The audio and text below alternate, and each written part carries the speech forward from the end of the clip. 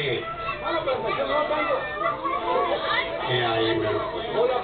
A pesar de que estoy enfermo, voy a tratar de cantarles una canción.